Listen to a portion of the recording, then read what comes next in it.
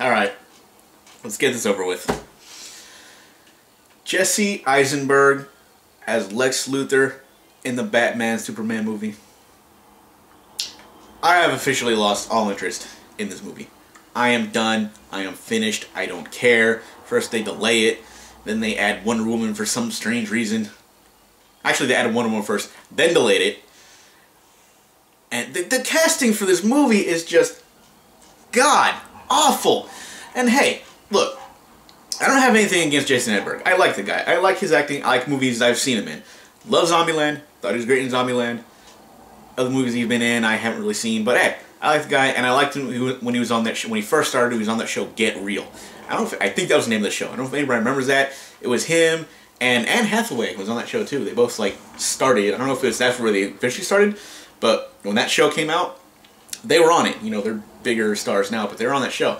And I said, I liked it, but as as as Lex Luthor, you know, evil genius, unless he talks like this throughout the whole movie, which I don't think he can, it's just not gonna work. It's just like, yeah, we're, we're, we're gonna have to kill Superman. He's just gonna die. Yeah, so what, what are we gonna do? Like Superman? All right, how, how, are we gonna do it? That, that, I'm sorry, but no. I don't even know who Zack Snyder. I don't know what target audience he's trying to capture with this movie, but it's. Uh, have you not seen comic book fans? Have you not seen how crazy and they can be? I mean, you guys thought video game fanboys were bad.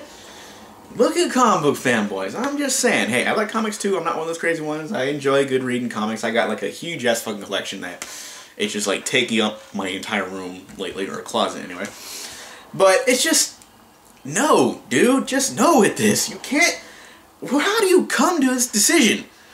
All these people you could have picked, hmm, let me see, who is going to make a great Lex, Jesse Eisenberg.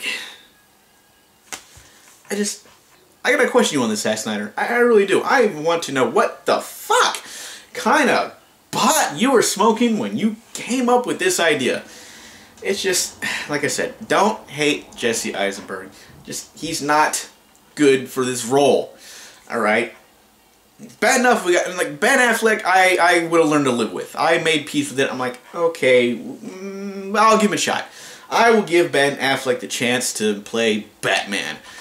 But Jesse Eisenberg, no.